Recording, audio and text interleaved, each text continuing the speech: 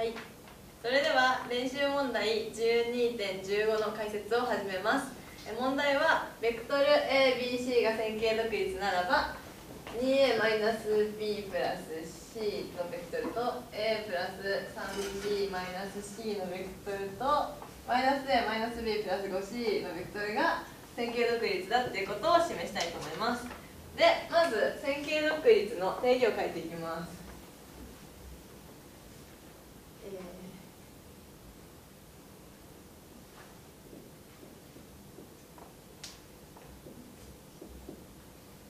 と教科書の134ページに書いてあるんですけど、えー、ある実数と実数 HA2 って出て AN っていうのと,、うんと、ベクトル V1V2 点点点 VN っていうののかけたもののこの足し算が0になった時に A1 イコール A1 と A2 と AN 全部が、え0っていうのがこのスカラーが全部0っていうのが成り立てばこの V1V2 この V2 っていうのが、えー、線形独立になります。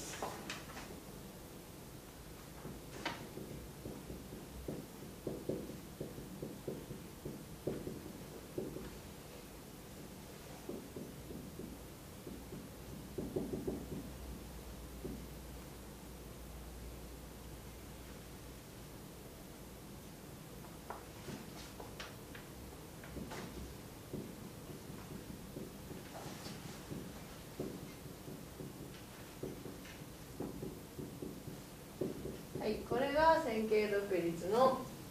定義です。は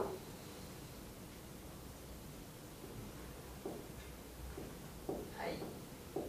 で、えーと、これを使ってこれの証明をしていくんですけどもまずある、えー、スカラーを自分で置きます。でじゃあ私は PQR で置きたいと思います。でそれをこれにかけていきますプ9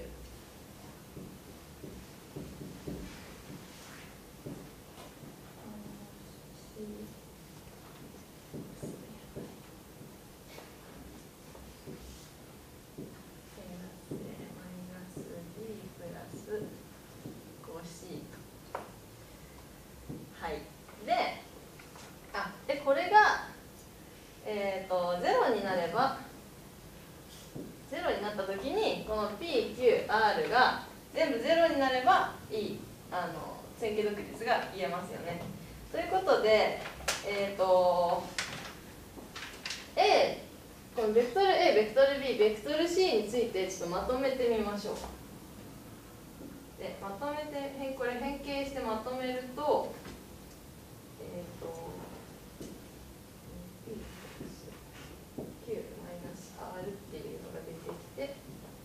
トル b についてはマイナス p プラス 3q マイナス r っていうのが出てきてベクトル c については p マイナス q プラス 5r っていうのが出てきますでこれが0わかんないですよね。で、えっと、今この仮定でベクトル A ベクトル B ベクトル C っていうのが、えっと、線形独立なので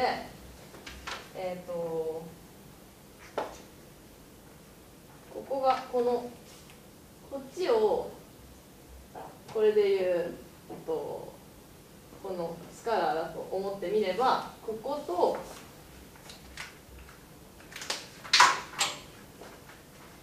こことこことここが全部ゼロになればっていうことが言えるので、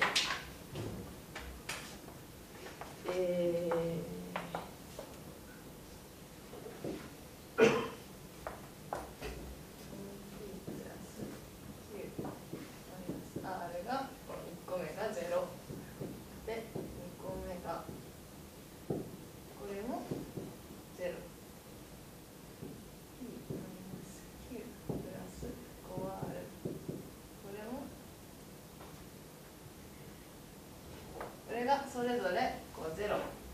ていうのを、えー、入れればいいと。でここでえっ、ー、と連立方程式をまあじゃあ解いてみましょうか。でここの PQR とするとこれがそのまま来るんで2マイナス1 1 3マイナス1マイナス1マイナス1 5となって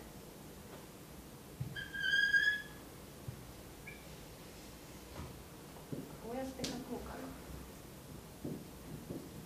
これを書き直すと行列で書き直すとこういう感じに書けます。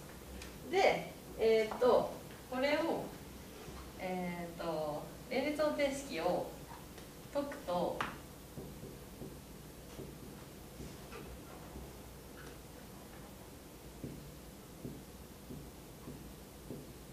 うやってやりましたよね。でこうやってやったのを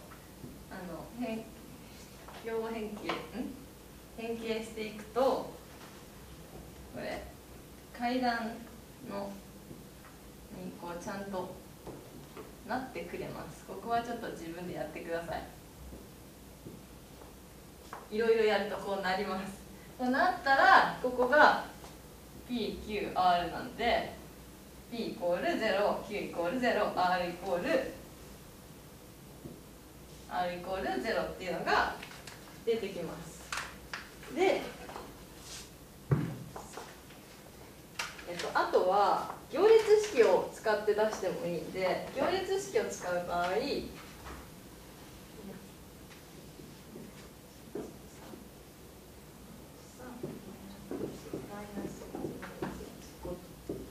これをサラスで計算すると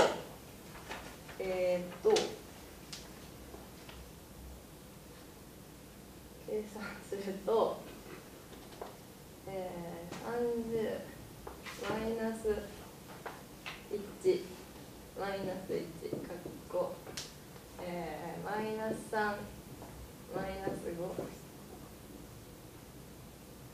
プラス2となってくれてこれが36になるんでこれ0じゃないんでこれで、うんと、行列式逆行列存在して生息。生息だってこいつが生息だったらここ全部ゼロ。っていうのでやってもいいです。そうするとよって P イコール Q イコール R イコール0っていうのがこれがよいしょこれが言えたので、まあ、こっちでもいいんですけどこれがこれを使って PQR が全部0っていうのが言えたんでここがこれが全部0だというふうに言えたんでここの中身もが、えっと、線形独立だっていうことが示されました。はい以上で練習演習問題12.15の解説を終わります。りがとうございました。